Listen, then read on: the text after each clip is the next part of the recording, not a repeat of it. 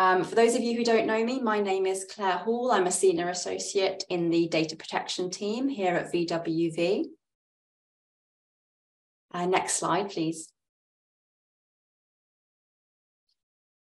So in this morning's session, we're going to be thinking about kind of GDPR five years on. So I can't believe it's been five years. It's flown by. Obviously, we've had a pandemic in that time, which has made things a little bit more interesting. Um, but you know that five years really has flown by. But we have learned an awful lot about GDPR in those five years. So this morning, I'm going to cover GDPR five years on the big picture to start off with. Then I will move on to everybody's favorite topic, which is data subject rights requests, and in particular, subject access requests, and some top tips I have for how to make dealing with those a little bit easier. Oh, I can't promise too much. Um, then I'll move on to talking about what we have learned from ICO enforcement action and hopefully how you can use those lessons to avoid ICO enforcement action and then key lessons from the wealth of ICO guidance that has been published over the last five years. And then obviously the high risk, one of the high risk areas of data protection compliance is information security. So I'll cover off some, some advice on avoiding a data breach, um, but also obviously inevitably data breaches do happen. So also avoiding ICO enforcement action if a breach does happen. And then we'll kind of finish off by kind of doing a bit of crystal ball gazing into the future and have a think about reforms to data protection law, because there is currently a bill going through Parliament which will make certain changes to the data protection regime. Next slide, please.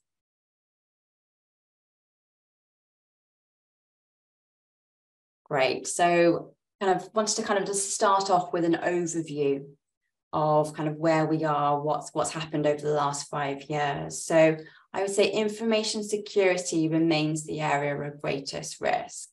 One of the reasons for this is that data breaches are one of the areas most likely to cause harm to individuals. And when the ICO are thinking about an enforcement action, that is certainly something that they will take into account. Obviously, harm to individuals as well also has reputational consequences for your organization too.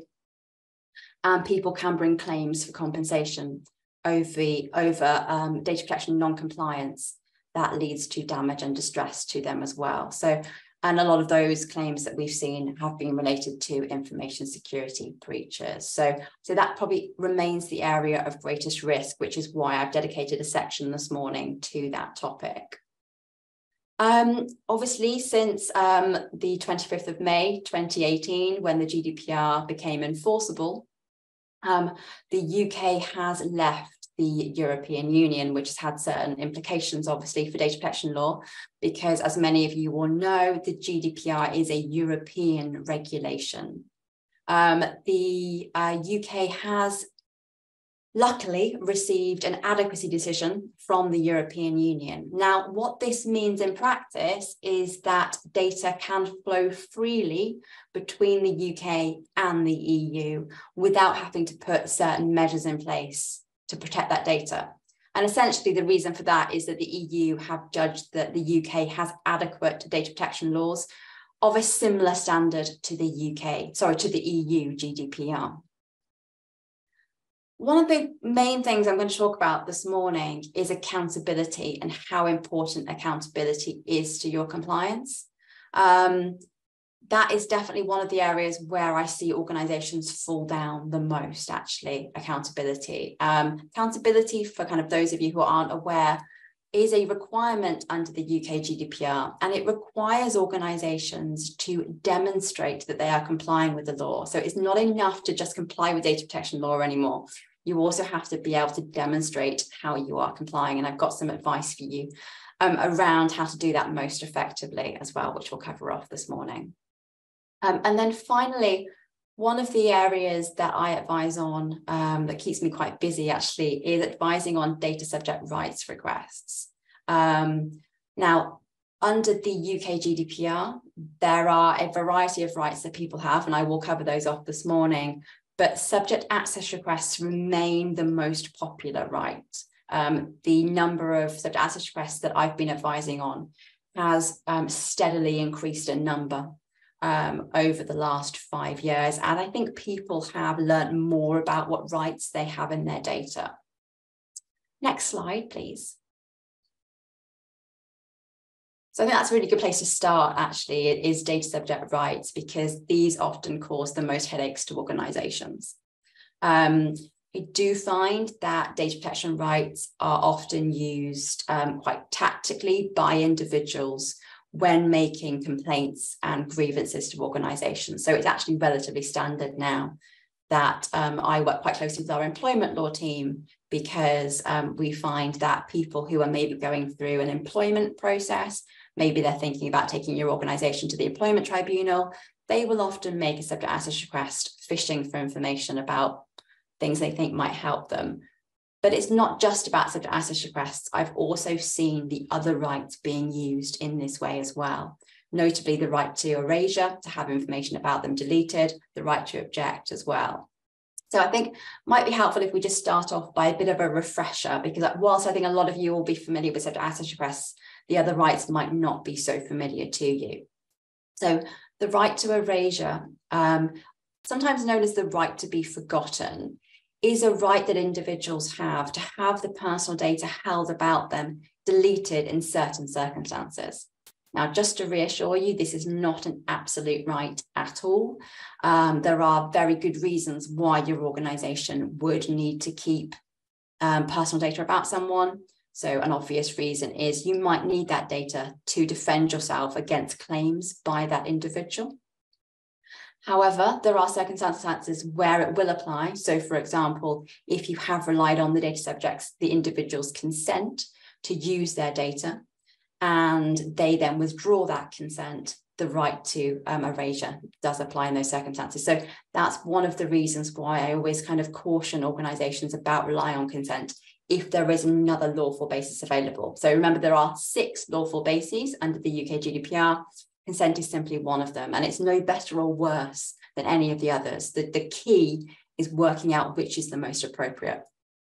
Now another right where um, which intersects very much with lawful bases under the uk gdpr is the right to object. So individuals only have the right to object if you are relying on legitimate interests or public task to process their data in a particular way and again, not an absolute right to reassure you. So um, the right to object does not mean that the individual gets to control what you do with their data, but it does mean that if they flag something to you of concern, maybe they're concerned about you using their data in a particular way or maybe sharing it with particular people, that kind of thing. They are allowed to say, look, I'm concerned about this, I'd rather you not do it.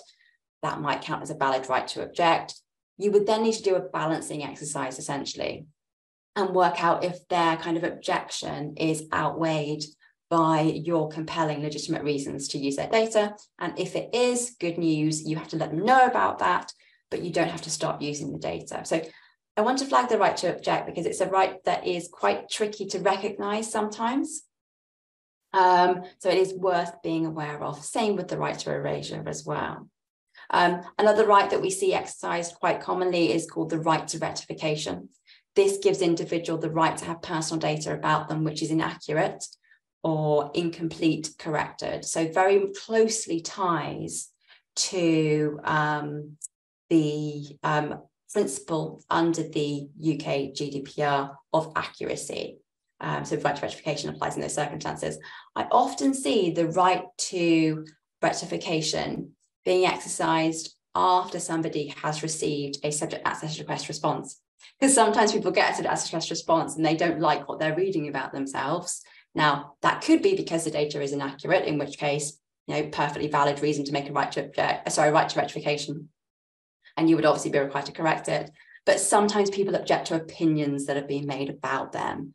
That becomes slightly more complicated because accuracy is very much about whether something is correct as to a matter of fact. So opinions even if someone disagrees with an opinion doesn't mean it's inaccurate. So the right to rectification, again, one that it's worth knowing about because I do often see that um, exercised following somebody receiving a subject access request disclosure. But I do want to focus on subject access requests for a large part of this section because I would say by far the most common right of all the rights um, that I advise on. If I think back the last five years of all the matters I've advised on where a right has been exercised, I would say subject access requests probably account for about 90% of that advice that I've been giving. So just to remind everybody, a subject access request um, is made when per a person asks for a copy of the personal data you hold about them. It doesn't have to be labeled as such. Um, they can simply ask for a copy of the data you hold about them. They don't need to use the word subject access request or Article 15 of the UK GDPR or anything like that. Don't need to even mention data protection law. So it is worth making sure that you have staff training in place, and I'll touch on staff training in more in detail in a moment, definitely have staff training in place so people can recognize when that right is being exercised. It is good practice to have a subject access request form that people can use to exercise that right, but you cannot require people to use a form. In fact, you can't even require people to make the request in writing. So one of the changes actually when the GDPR came in is that previously subject requests had to be in writing. That's no longer the case. So somebody can over the phone to you or in person um, make a subject access request to your organization, to any member of staff as well, which is why it's so important to have staff training on these things so that everybody knows how to recognize one. You do need to prepare to receive one of these requests. I would be absolutely flabbergasted if anybody who's attending this webinar today, their organization has not received at least one subject access request over the last five years. In fact, I imagine some organizations, um, larger organizations have probably received hundreds over the last five years. Do make sure that you are putting in place measures to make dealing with a request easier when you get it. So kind of make hay while the sun shines, as, as it were. One of those main things to put in place now is staff training. So I've already mentioned that you need to make sure that every member of your organization knows how to recognize when somebody is exercising one of their rights in the UK GDPR, because a valid right can be made to anybody at your organization. That person, though, should not be dealing with the request themselves or the exercise of the right themselves. They should be passing it immediately to your data protection lead to deal with. I know some of the organizations attending the webinar today are quite large, so you might even have a whole data protection team that is responsible for dealing with those things. So make sure people know how to contact that team, you know, and pass it on immediately because obviously the clock starts ticking normally as soon as you receive that right. Staff training as well is really important around people knowing that how they are using personal data in a work context could be disclosable under a subject access request. So it's really important to make sure that people are expressing themselves in writing or in recorded form in a professional way. I've had a number of requests come off across my desk where unfortunately somebody internally at the organization has made a comment which has been less than professional and that's then put the organization in a very complicated situation when they've had to think about whether they need to disclose that to the individual in question so if you can give staff training just around making sure what they are saying in emails for example are professional at all times. Because whilst we can find exemptions to withhold personal data in certain circumstances you know, they are relatively limited and they normally are there for very good reasons such as safeguarding things like that. So yeah just someone having a rant about somebody unfortunately there's no exemption for that staff training as well is really important around how you are storing personal data so this applies to well most of the rights really under the uk gdpr um, if staff are not storing personal data in a logical way it is going to make it much more difficult for you to find that personal data when you need it to respond to a subject access request. Think about whether the data needs to be erased under a right to rectification, sorry, under a right to erase request. Think about whether it needs to be corrected under a right to rectification request. Um, so you should have procedures and protocols in place at your organization regarding where staff store personal data. It just makes life so much easier for your data protection team when you have to do this. Staff training as well is really important around personal devices and the use of personal devices. So you should have controls in place for information security reasons as well around staff only processing personal data for work reasons on your work systems. Or if you do allow staff members to use their personal devices, you should have a bring your own device or information security policy that covers off how they are to do that securely. I have advised a few organizations recently where staff members have been using kind of personal WhatsApp for work reasons. And this not only is a risk from a data protection, uh, information security perspective, also makes it more difficult. Um, let's say that staff member leaves your organization, how is that personal data going to be um, collated as under a subject access request if need be? How is it going to be erased if need be under a right to erasure request? So information security and data subject rights issues around staff members using personal devices or personal communication channels for work reasons. The last point on this slide relates to engaging with the requester. So do make sure that if you receive a right and it's unclear what the requester maybe is asking for, do engage with them. The ICO are very keen on this. They want to see that you are actually engaging with people when they're exercising their rights. And I know that can be difficult because, as I mentioned, rights are often exercised in relatively contentious circumstances sometimes.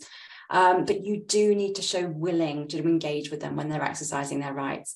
In particular, if somebody makes a subject access request for a large volume of data, consider whether it's appropriate to go back to them to ask them to clarify what they are seeking. You are allowed to do that if you process a large amount of data about them and it's not clear what they specifically what they're seeking. So I, that's one of my top tips for dealing with subject requests actually is do go back, do engage with them, do go back for clarification if it's appropriate, because you can save yourself a lot of time actually. If someone's made a really broad request, and often they're not interested in everything, they're only interested in specific things. So it is worth engaging with them around that clarification. Next slide, please. Okay, so when it comes to doing subject access requests, um, I often get clients calling me in a bit of a panic because they've done a, a, search across their entire email system or something like that, just for the requester's name. And it's come back with, if they're an employee, it could come back with, you know, hundreds of thousands of emails if they've been with you for a very long time. So do think strategically about how to do your searches. Remember that under a access request, somebody is entitled to a copy of their personal data and certain supplementary information as well, like why you're processing it, how long you're keeping it for. But when trying to find a copy of their personal data, doing a search across your entire email system for just their name is going to bring back all sorts, including emails where they are simply CC'd. Now, whilst their name is personal data, that doesn't mean that the rest of that email contains their personal data. And people are only entitled to a copy of their personal data they're not entitled to a copy of the original document that contains their personal data. Um, which means that if somebody is simply CC'd into an email, well, what's in there, their name, email address, that will probably be disclosed elsewhere. So you don't have to disclose every single copy of an email that they've been CC'd into just because it's got their name in it. Um, I know that sounds obvious, but sometimes people do get a bit concerned about splash requests for that reason. So think tactically about where their personal data that they are seeking is most likely to be found at your organization, which comes back to the point I was making a moment ago around the importance of thinking about where you are logically filing things. So if staff members are simply keeping emails in their inbox forever, that's not really going to help you when it comes to looking for data under subject request. So make sure you know HR information should be contained in a particular place. Um, information about your customers or if you're a university, your students should be contained in that particular place as well. So the more structured you can be around how you are storing personal data, the easier it is to comply with data subject rights, in particular subject access requests.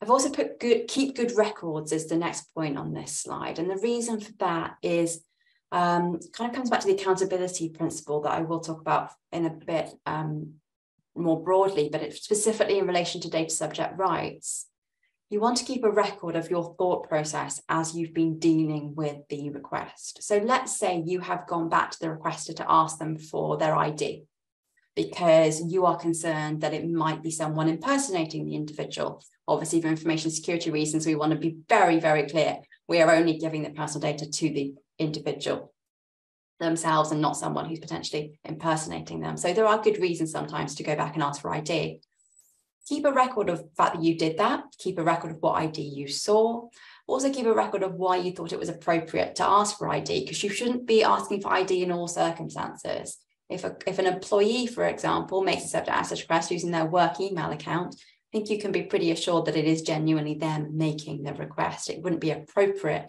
normally in those circumstances, unless you had particular suspicion that it wasn't them, to go back and ask them for, you know, evidence their identification. So keep good records around that. if you go back asking them for clarification, make sure you're keeping the paper trail around maybe the email exchange doing that for your records. The reason I'm suggesting this is that if the ICO ever do get involved, and the ICO sometimes do get involved in subject access requests because it's the area they get the most number of complaints about, will just really help you to demonstrate to the ICO you did everything right. Now, one particular area where it's really important to keep records is A, what you disclosed to them in the end. So keep a copy of what you gave to the requester.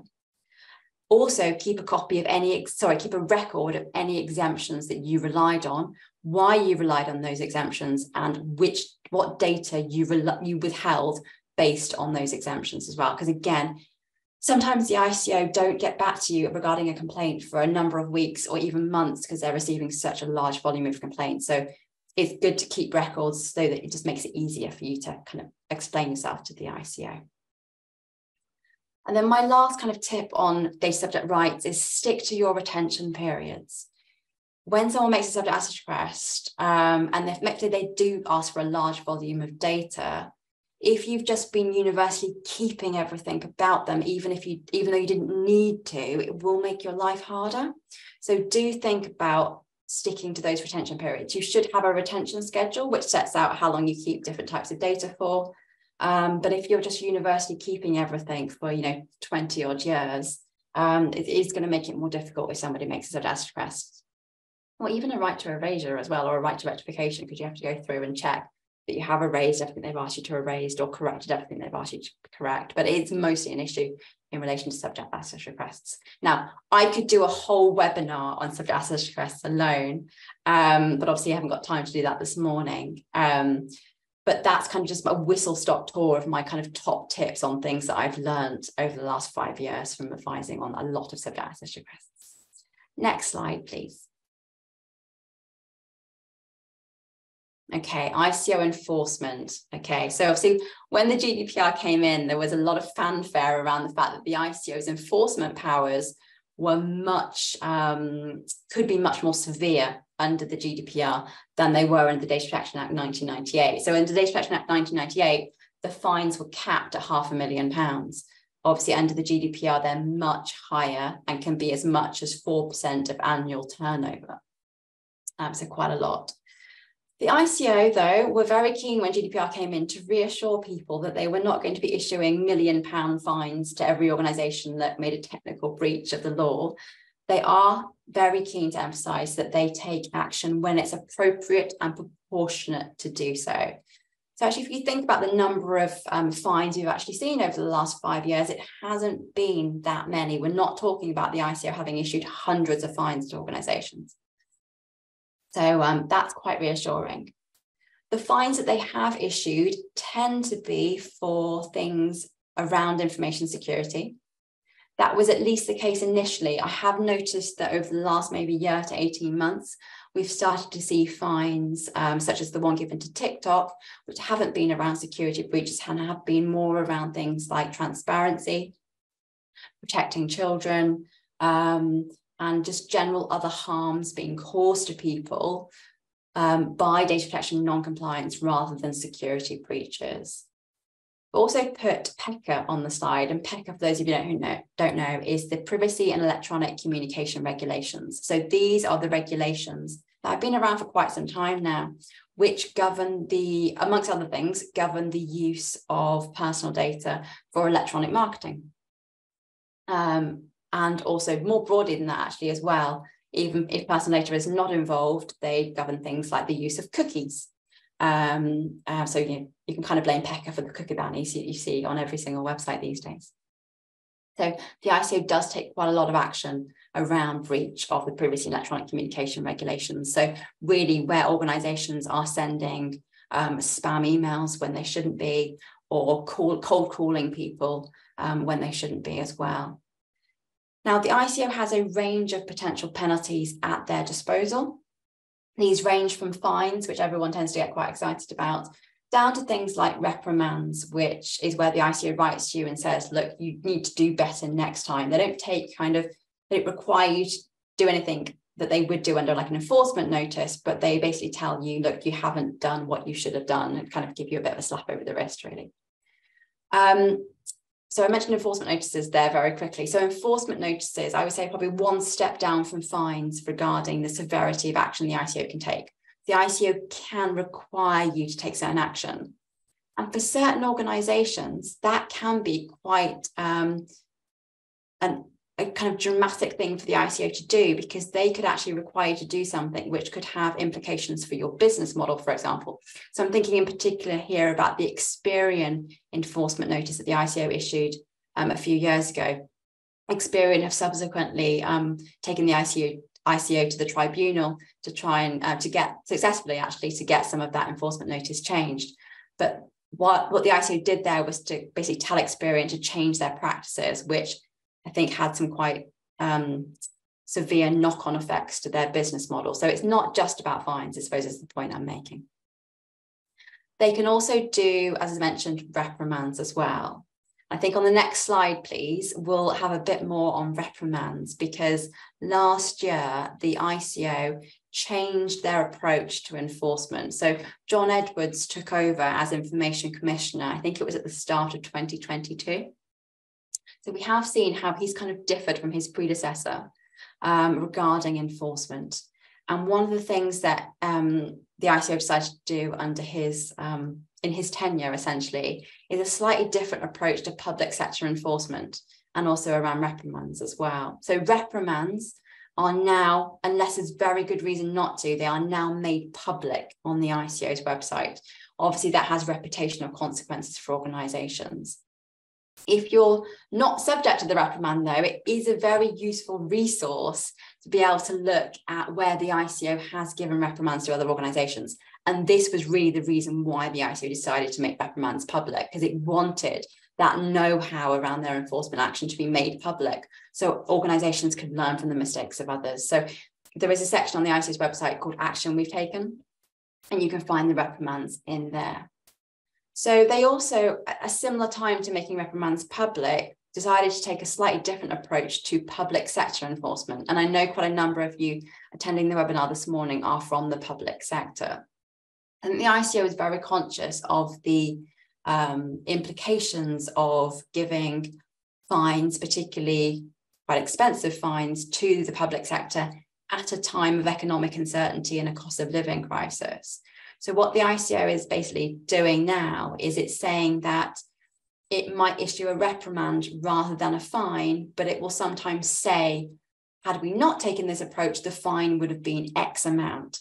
So the Department for Education got a reprimand a few months ago, and the ICO said that had they decided to give a fine, it would have been a fine in the region of 10 million pounds. So you can see how actually this is a very beneficial approach for the public sector, uh, avoiding fines of that level and getting reprimands instead. Um, so I said, that's some good news. And I know a lot of you today um, attending today are from the public sector. But as I said, reputational consequences should not be underestimated by these reprimands now being made public. In the, in the vein of things being made public as well, the ICO um, last year started to publish data sets on its website around complaints and reported data breaches. Now, these data sets are not particularly easy to find on the ICO website, but if you know where they are, it's actually really interesting to download this. They're done as like an Excel spreadsheet, and you can download them and see what they say about particular organizations. So the organization is named, and then very, very brief details are given around the complaint. So um, again, it's only a few words actually, it's not a huge amount of detail but they are kind of putting the name of the organization there. So again, reputational consequences. And that relates to self-reported data breaches, but also complaints the ICO have received as well. So it's something to be aware of. Um, and kind of both just stresses the importance of why data protection is an area that your organization should be focusing on, because whilst you might not get a fine, there are reputational consequences. You've got the management time and resources to spend on data protection complaints which often can be worse, um, worse than anything. When the ICO has taken action around information security, I very much noticed that they do cross refer to the National Cybersecurity Centre. So, the National Cybersecurity Centre are a government body who are tasked with um, providing guidance and support and particular tools to organisations around cybersecurity, as their name suggests. Now, the ICO obviously will have data protection, obviously have data protection expertise, but will have information security and cybersecurity expertise internally. But they do very heavily rely on the uh, National Cybersecurity Centre as well, because the whole reason for the National Cybersecurity existing is around cybersecurity. So, and the ICO and the National Cybersecurity Centre do work quite closely as well. So last month, actually, the ICO and the National Cybersecurity Centre published a joint article or a joint blog post about data breaches and the importance of being transparent and coming forward if you have experienced a data breach so that you are getting the help you need. So we do know that they do communicate. Um, one of the things as well, just to stress that's very much come um, to the fore when reading about ICO enforcement action, because these things are all published on their website. You can all read them if you want to. Um, they do focus very much on accountability, and I'm going to cover off accountability in more detail in a moment. But essentially, when um, for those of you who have had the pleasure of having to report a data breach to the ICO using their data breach form, you will have noticed, for example, that one of the questions on that form is Were the staff members involved in this breach given training in the last two years? I think it is. So, again, if you've got records of that training, makes it, which is part of your accountability, um, that makes it much easier to prove to the ICO you've done what you should have done. And where the ICO has taken action, it's often been around organizations who haven't had training in place, who haven't had the correct policies and procedures in place. And this is very strongly coming across in the reprimands as well that's been published recently. Next slide, please. So for that reason, let's now move on to talking about accountability. So um, over the last five years, obviously, those of us at VWV who specialize in data protection have been keeping a close eye on ICO guidance. Now, the first thing I want to say about ICO guidance is that it's not law. So, this is very much the ICO's interpretation of what the law is. That being said, the ICO are, are required under the Data Protection Act actually to publish certain statutory codes of practice. So, for example, they have to publish a code of, they've published a code of practice around data sharing, which is really worth having a look at. It's, it's quite a useful code of practice. So that kind of code of practice kind of sits above, as it were. I think it's sitting above the other ICO guidance because it has more force. So the courts, for example, I think have to take into account these codes of practice. That being said, ICO guidance is still a really helpful resource, but remember it doesn't have the status of law. And sometimes the ICO do take quite a data subject friendly approach to the law as well. So other views are available, but because they are the regulator, I would strongly recommend taking their guidance seriously um, because it is useful to know how the ICO um, are interpreting the law and also what areas of law they are focusing on as well, because data protection law encompasses so many things it is useful to get a bit of a steer about where to focus most of your resources when it comes to data protection compliance.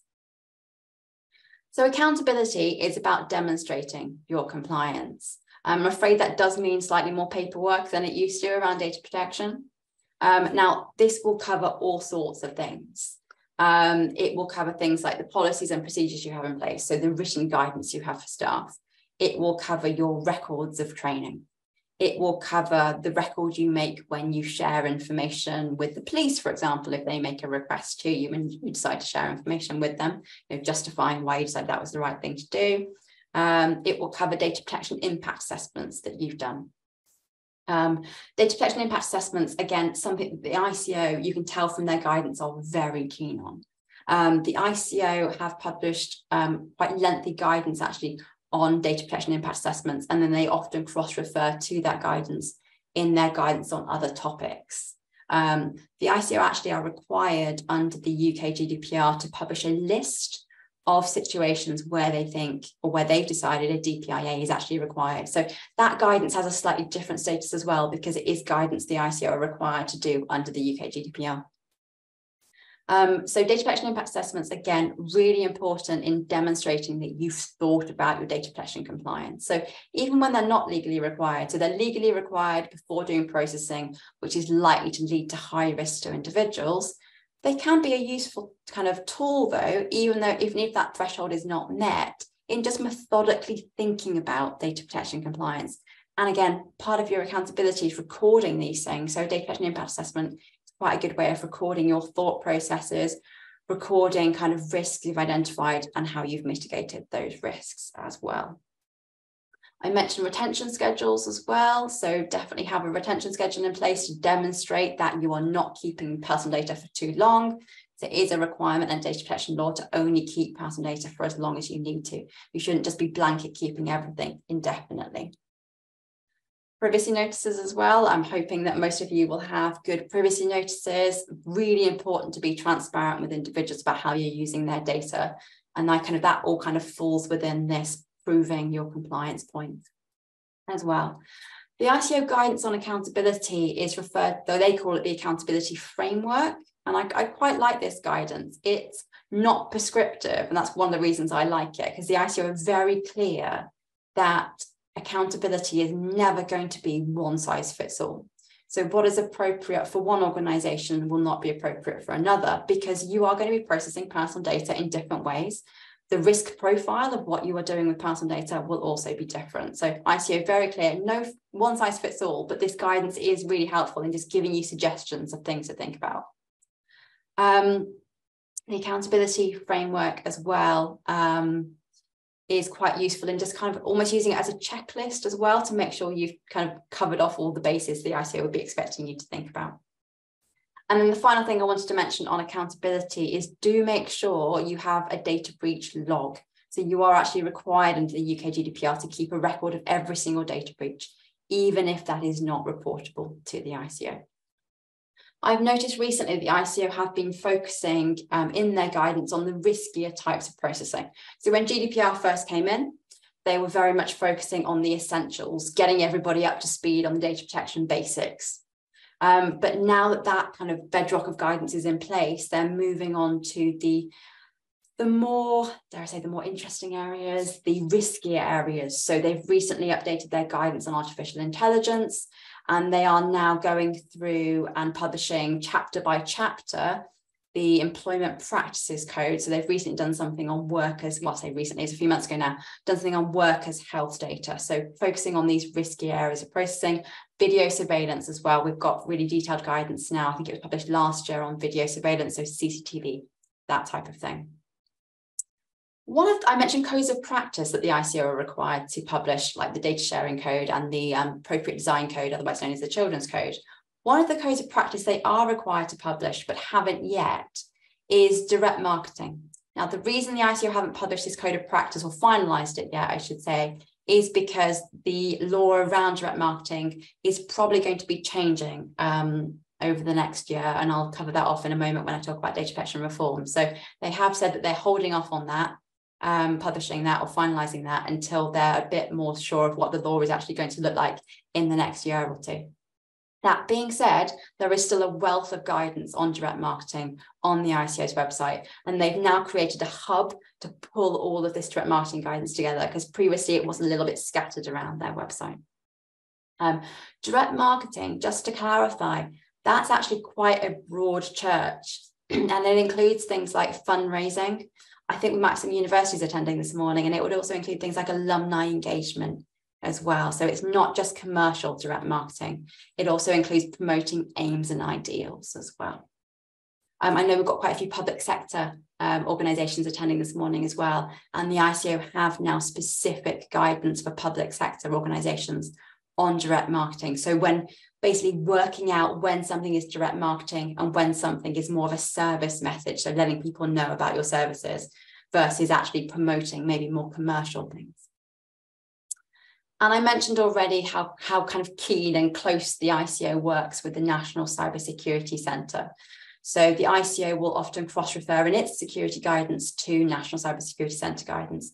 I strongly recommend that those at your organisation who are on the more technical side of information security, so probably your IT team, are intimately familiar with National Cybersecurity Centre guidance.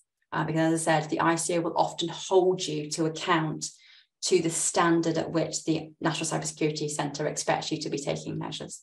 So National Cybersecurity Centre are real, like their website's full of really helpful resources not just guidance either, they also include things like tools like their early warning system, which apparently um, can, can kind of tell you about weaknesses in your system or if you may have been attacked, cyber attacked. Um, so yeah, really worth being aware of the National Cybersecurity Centre guidance and the other resources on their website as well. Next slide, please.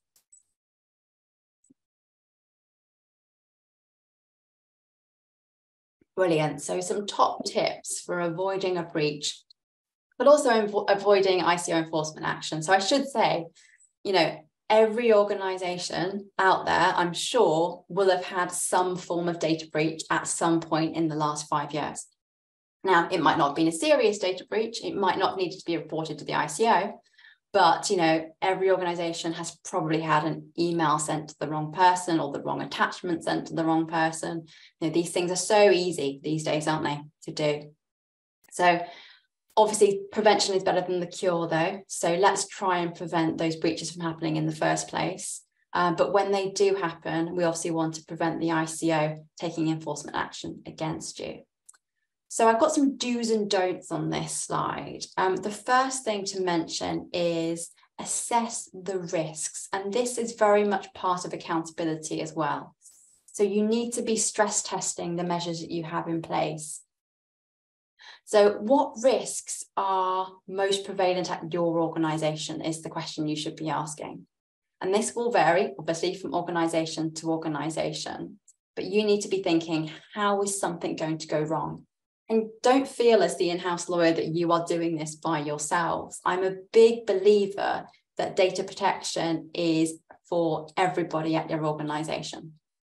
So often the people on the ground have some of the best suggestions. And um, one of the purposes for me of data protection training for staff is to kind of build that culture of data protection compliance. So we want people to come forward to you as the in-house lawyer, as the data protection lead, as the DPO, for example, with, you know, oh, I'm a bit worried about this new system we've just implemented because I think this could go wrong. Or I'm a bit worried about the fact that these filing cabinets are left unlocked or, you know, that type of thing. We want people to come forward um, not not fearing reproach, um, to help you to assess the risks as one person in a large organization cannot do that. You need help from your colleagues. Obviously once you've assessed those risks you then need to take action to mitigate those risks. And coming back to accountability you need to be recording what you're doing as well. So training is so important. So training is important for multiple reasons Firstly, your staff members need to be trained on how to use and handle personal data to do their job in a way that protects that personal data. So keeps it secure, but also we want staff members to be able to recognize data subject rights. We want them to know when they're allowed to share data and when they're not, and when they should speak to somebody. We want them to know when they should come forward to the data protection lead and say, I think I might need to sign up to this new service, but I think there's a data protection implication because this provider will be using personal data on our behalf you know, those of you who will, um, are data protection experts will know that that means that they're your process and there has to be a contract in place for certain provisions. We want all staff members to know the basics so that they know when to come forward to you. So that's the first thing. The second thing, which I've already mentioned, is creating this culture. We don't want people to fear retribution. If something has gone wrong, if someone has sent an email to the wrong person, happens from time to time, we want them to know that they can come forward without being rebuked because we don't want people, the last thing we want is for people to try and cover up their mistakes. We want people to come forward because if they don't come forward, you can't take action to put that breach right. Lessons cannot be learned from that breach if people are too scared to come forward and to admit and say, look, I hold up my hands, I did this wrong. So training is really important for that reason as well. We want that culture of data protection compliance. You must keep records of the training that you've given as well. So keep records of what the training content was. Ideally, we'd want to have some form of test at the end of the training. And that doesn't have to be a scary test. But if you do online training, for example, you could have kind of a multiple choice quiz at the end, that kind of thing. We actually have training here that we've designed at VWV for organizations, which has a test at the end. Um, and the way that we've designed this training is as well that it's very easy for you to see who which staff members have done the training and when they've done it, what their pass rate was, that they passed the test, that kind of thing. Because as I said, if there is a data breach that needs to be reported to the ICO, one of the questions the ICO ask on their form is, did those staff members have training? So you need to have records in place to show that that training took place. Policies is the next thing. So policies around information security are so important. So we, you'd want, broadly speaking, to have um, a policy which is practical guidance for all staff in your organization about how to keep information secure. And then you probably will also need policies and procedures in relation to specific systems. You might also, if you're a large organization, want policies and procedures in relation to specific teams as well, um, particularly teams that are handling more high risk data. And again, having those policies in place not only educates your staff members so it makes a breach less likely, but it also shows that you were thinking about these things and taking measures to guard against them, which is what the ICO will be looking at if they investigate and if they think about taking enforcement action against you, or at least one of the things they'd be thinking about. So recording the measures you're taking, so, so important. And that's again why I'm a little bit of a fan of a DPIA, a data protection impact assessment, because it's a really useful way of methodically thinking about risks and recording what you're doing about it. I put cyber essentials on the list as well. So this comes back to National Cybersecurity Centre resources. So Cyber Essentials is, a, I think it's free or it's not that expensive. And it basically um, allows you to kind of give you a little bit of reassurance that you are on the right lines regarding cyber cybersecurity. I think there's also a Cyber Essentials Plus as well, so worth looking into that. And then just finally on the do list, do make sure you are keeping up to date with National Cybersecurity Centre guidance and ICO guidance both organizations are publishing new guidance all the time. They're both very active in publishing things. And in particular, when it comes to cybersecurity, things are moving on really quickly. Um, the National Cybersecurity Centre did a blog post, um, I think it was in March, about, for example, the, the cyber risks posed by generative AI, now that generative AI is really taking off, because the National Cybersecurity Centre flagged that actually generative AI if you know if in the or when in the hands of cyber criminals could make phishing emails or spam emails look more convincing easier to trick people into clicking on that link clicking on that attachment um, that they shouldn't be clicking on so do make sure that the people at your organization who are responsible for cybersecurity the technical side of it are keeping up to date with national cybersecurity center guidance and then on the ICO side, that's more to do with your policies, your procedures, your organizational measures as well. So do keep on top of it. And then my do not list, just uh, relatively quickly. So when it comes to training, I'm a big believer that training needs to be, dare I say it, a little bit fun. Um, it should be engaging. It shouldn't be overly academic. I know us lawyers are really geeky sometimes because we just, we, that's how our brains work, isn't it? But you know, people in practice who are trying to do their jobs, they're not that interested in that academic side of things. So make sure that the training is really practical. So they need to understand the essentials of the law. They don't need to understand kind of the ins and outs of everything, though, but they do need to understand what that means for them in practice. And that also applies to policies and procedures as well. I will quite often be sent policies and procedures to review by clients to suggest amendments. And one of my bugbears is where a policy looks more like a legal essay than it does an actionable thing or an actionable procedure that staff members can actually follow in practice. So, whilst it needs to accurately reflect the law, a policy or procedure should not just simply set out what the law is, it needs to go a step further and say, this is the obligation. This means we need you to do X, Y, and Z. So, how, for example, are staff members to work from home securely, that type of thing. Um, do not ignore your own policies either. Do make sure that staff members have read them. Again, I would suggest keeping records that staff members have read your policies. I know some organisations even go as far as making staff members sign the policy to show that they've read it as well. And please, I know I've talked about National Cybersecurity Centre guidance mostly being for your technical IT people, but do not assume security is just an IT issue.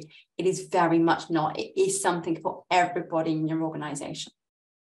There is definitely a human element to cybersecurity in terms of, you know, we all need to know how to recognize those or try and recognize those phishing emails that might da- download malware, for example, onto your systems, you know, not to click on the link if you're unsure, that kind of thing. So it's not just an IT issue. And then the other two really things are just kind of say, look, don't fail to record your steps. I know it can seem like a burden and you've already got so much paperwork as part of your job. I appreciate that. But just taking the time to methodically record what you are doing around data protection compliance will just stand you in really good stead if and when something does go wrong. So just don't fail to prepare because, as I said, I think every organization in the country would have had a data breach of some description in the last five years. These things do happen, so we need to prepare to deal with them. Next slide, please.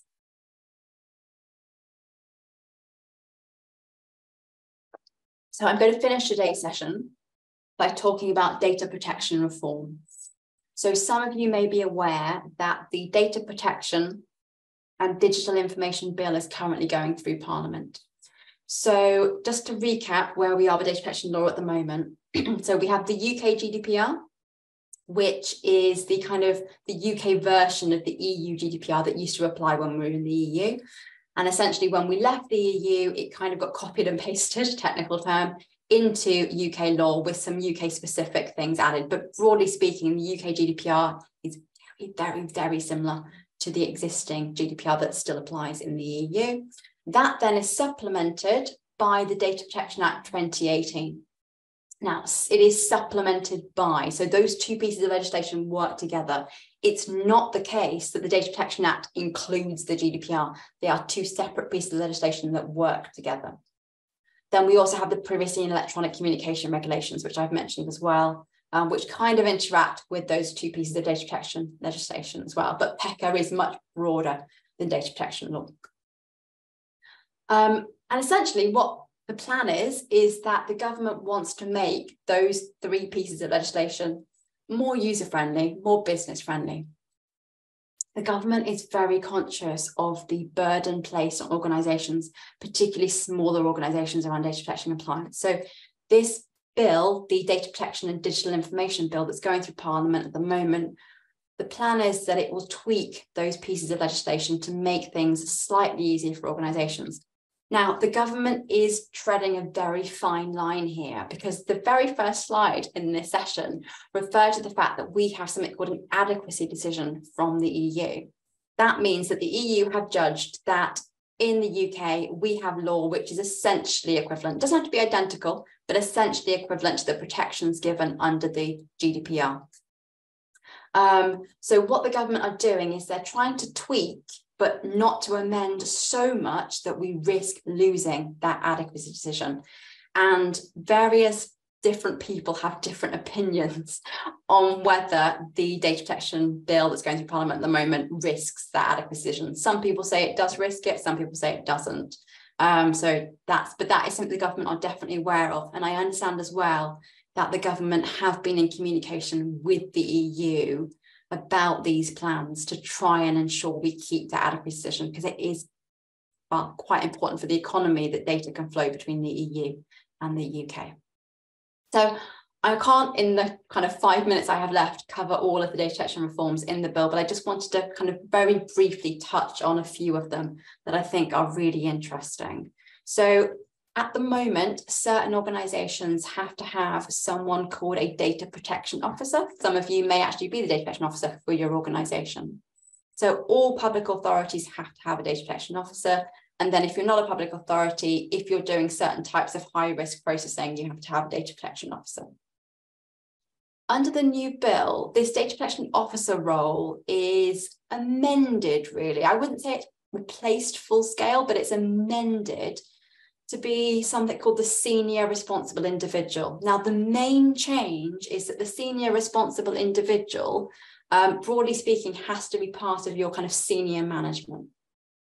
The good news, though, is that that senior responsible individual can, I think, delegate their tasks. So, because particularly in a large organization, you wouldn't have one person responsible for data compliance anyway. You'd probably have a few, even a team. Those tasks can be delegated, but ultimately it's the senior responsible individual who is responsible for securing that those tasks are, are done essentially. So this is a potential change. Le- legally, it's a change. How much of a change it actually ends up being in practice, I think we need to wait and see because ultimately there needs to be somebody, even if you're not required to have a senior responsible individual, even if you're not required to have a DPO at the moment, there should still be somebody responsible in your organization for managing data protection compliance, and that, that fact is not going to change. The next thing I want to talk about is legitimate interest. So, as I mentioned earlier, there are six lawful bases for processing personal data. One of those is legitimate interests. At the moment, if you want to rely on legitimate interests, you have to do a balancing exercise. Um, essentially, you can't rely on legitimate interests if your legitimate interest is outweighed by the rights and freedoms of the data subject, the individual who's data the processing. I should also say I know there's quite a few public sector organisations on the um, on the webinar today, and obviously you can't rely on legitimate interests. I think it's when performing your public tasks. So I know it's more limited for you, but legitimate interest does still apply to most organisations. The government, in its attempt to try and make these things easier to deal with, is essentially saying that for certain things, um, will be, I think the term is recognize legitimate interest. So you won't have to do that balancing exercise for certain things where the government thinks it's so obvious you should be able to rely on legitimate interests. So that's another interesting area which might make life easier as well. Complaints handling. So I mentioned that the ICO received tens of thousands of complaints every year they do try and encourage organizations to resolve things with the complainant themselves before they get involved in a detailed way. That the changes under the bill will kind of put that on a statutory footing. Um, so you will actually be required to have measures in place to facilitate the making of complaints. And the ICO, in most circumstances, won't look at the complaint until the person has gone through your complaints handling process. So, again, how much of a change that will be in practice, it remains to be seen, but it obviously is, will be if it goes through a legal change.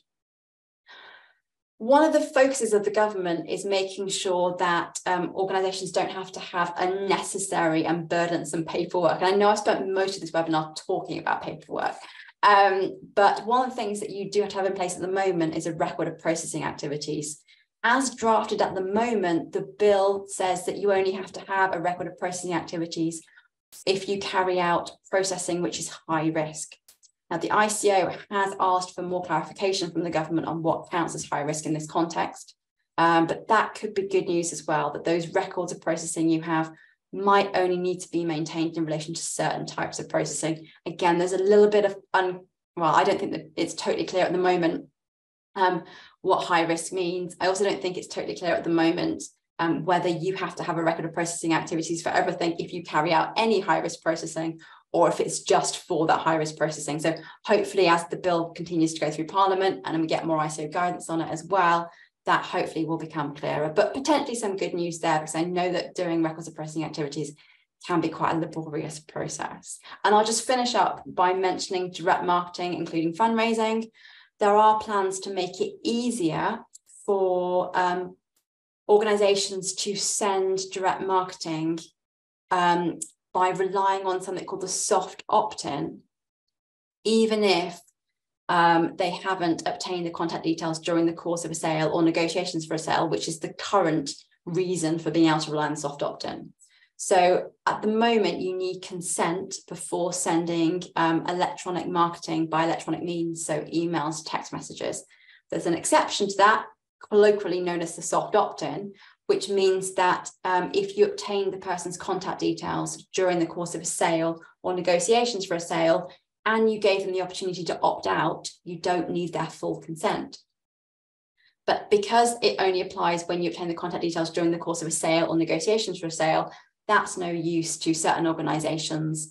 So um, I know some universities attending this morning. So alumni, for example, if you want to promote your next alumni reunion, that does count as direct marketing, but you're unlikely to obtain the contact details during the sort of course of a sale or negotiations for a sale.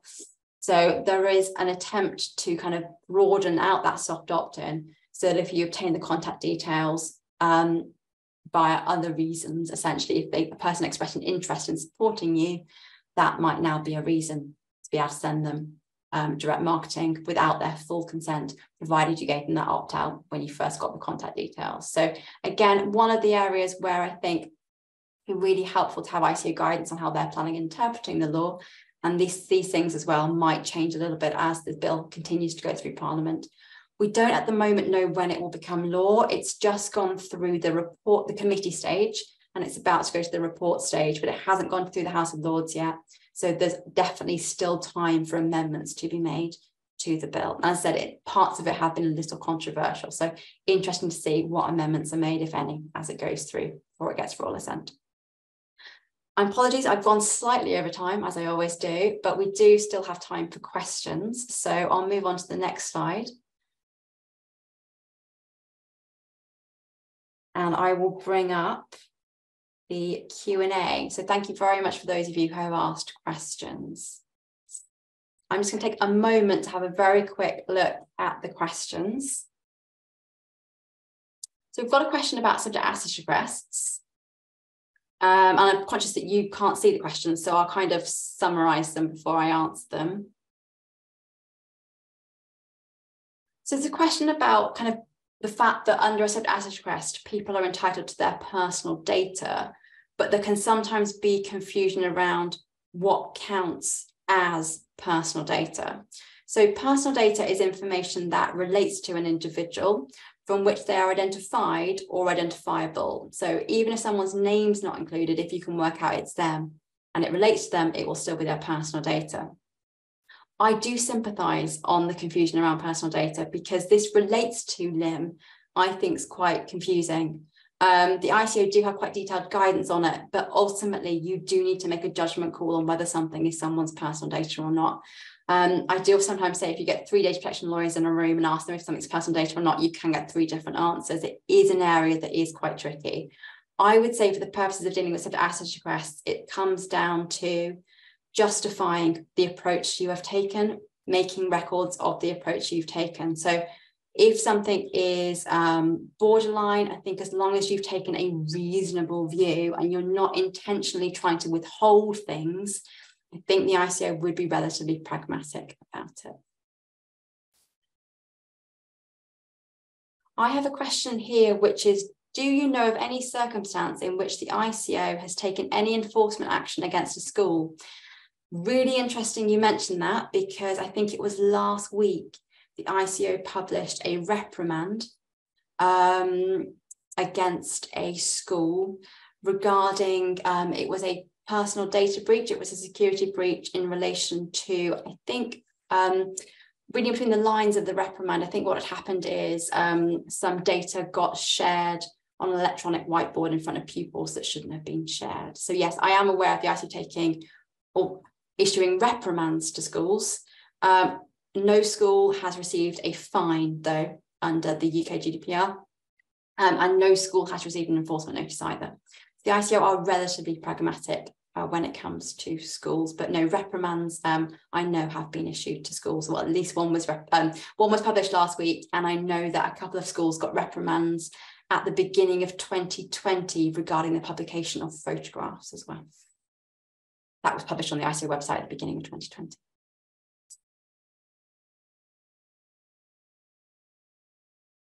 So I've got a question, is it correct that the statutory role of data protection officer has been abolished? And that question might have been um, asked before I covered it off. So just to clarify, the bill replaces the concept of data protection officer with this senior responsible individual role, but the senior responsible individual can delegate their tasks. So I think that means possibly that if you are not part of senior management, you can probably still continue to do data protection compliance as part of your organization, but you would be reporting to somebody at the very highest level of your organization, which again ties in with what the ICO have been saying for a while now that data protection compliance is a boardroom issue, is the words that they use. So whilst you might have a team or a person who's slightly more junior managing compliance on a day-to-day basis, they should be accountable to somebody more senior. So again, it's difficult to say at the moment what this senior responsible individual role is going to mean in practice. Have any sanctions been issued against universities? Not recently is my answer to that. I can't hand on heart say ever, but not recently.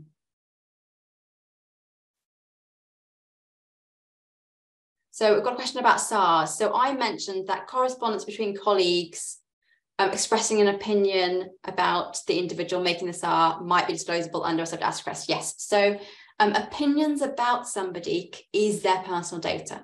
So if I write a colleague, uh, sorry, if I write an email to a colleague um, expressing my concern that one of my colleagues is not doing their job properly or they're underperforming, that kind of thing, and the person I'm expressing that opinion about makes a subject access request, that is that person's personal data. So we would need to consider if it's disclosable. We might be able to rely on an exemption.